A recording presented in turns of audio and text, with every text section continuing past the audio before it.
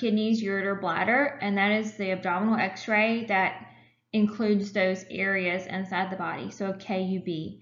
Radio opaque means that you can see it on x-ray, so it usually shows up white. Contrast media can be given IV or PO, may contain iodine, so you would want to make sure the patient is not allergic to iodine products before you give it, or shellfish. Fluoroscopy is a moving x-ray. Sometimes you'll hear them call it a C-arm, and that is a um, an x-ray that is basically live. A barium swallow or an upper GI series, they are the same thing.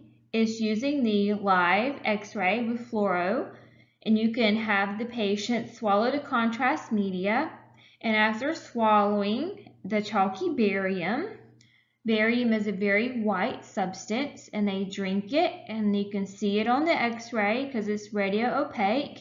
You can see them swallowing and you can see it if it goes into their lungs like an aspiration study. You can also see if there's tumors present because the, the media, the contrast barium will just kind of go around it and it'll look round and globular on the x-ray.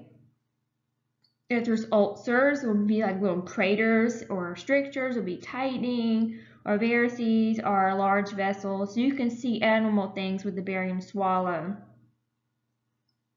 Now with the barium, it's very important.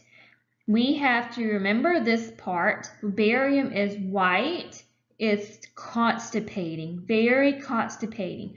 So we must have the patients drink a lot of fluid a lot of PO fluid after they have barium to make sure they don't get constipated so that you flush it all out. The answer is true. Okay, so pre-procedure for the barium swallow, they'll have a low residue diet. NPO for eight hours at least. They'll they'll um they'll they should not take a laxative and they should not smoke 12 to 24 hours before. Given a laxative or smoking alters the peristalsis and we don't want to alter the results of the test with external factors. So we're going to try and prevent that. For post-procedure, remember I said they need to drink lots and lots of fluid. Prevent constipation is the nursing number one priority. We will obtain stool specimens after the barium clears. Well, how do you know the barium clears? Well, they will go from white stool to brown stool. So no more white stool and their stool becomes a normal color, then you know the barium is gone. So they will have white stools when they have the barium. We may want to give a laxative also to help clear it out. Now for the small bowel series, it's done exactly the same way. They just set, they just look at uh, more more structures lower. An enteroclysis is a small bowel enema using an NG tube. So what they do is they usually will put this down, um, an NG tube down using a, an EGD scope so they can get it down into the small bowel and they'll just give them a laxative or GoLYTELY or something. So just a medical term, enteroclysis. The barium enema is done similar with the same substance, but they're going to put it somewhere else. Um, so barium enema means we're going to do the barium and take pictures, the lower GI series, through the anus. Before the procedure, uh, 12 to 24 hours before, they'll have a low residue diet one to two days before. So what is a low residue diet? A low residue diet are things that don't increase peristalsis. So you wouldn't want to go have a lot of fiber or a lot of leafy vegetable green you know vegetables um, before this procedure. You don't want to increase peristalsis um, and alter the results of the test. So clear liquid diet the night before and a laxative.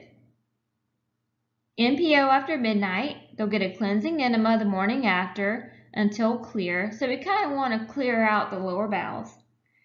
Then in the procedure, most most of the time they'll be with a radiology technician who will do this part. Nurses don't, I've never had to do this working in GI.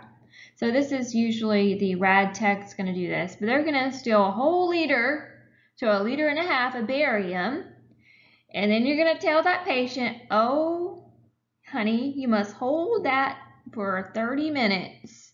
That's right, you better squeeze. You got to squeeze and hold that stuff in for 30 minutes. Okay, as they are um, holding it, they may ask them to rotate around a little bit to help it coat the inside of the bowels.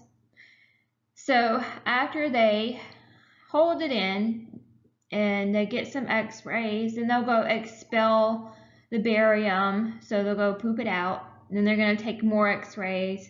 The patient may have to turn around and upside down and all over to get different kinds of x-rays, but they're looking for tumors and polyp strictures, inflammation, um, abnormalities. So it's also used with fluoro. Um, so we need to tell the patient know they will have position changes during um, and then after they expel it.